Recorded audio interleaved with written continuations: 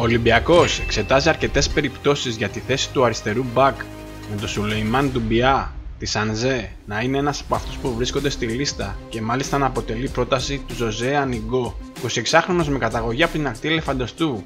Από το 2020 αγωνίζεται στην Ανζέ και φέτος έχει παίξει σε 13 παιχνίδια του γαλλικού πρωταθλήματος, ενώ το συμβόλαιό του λύγει το καλοκαίρι του 2023.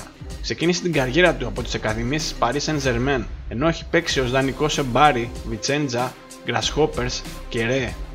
Δείτε το σχετικό βίντεο με μερικά από τα highlights του συγκεκριμένου παίχτη.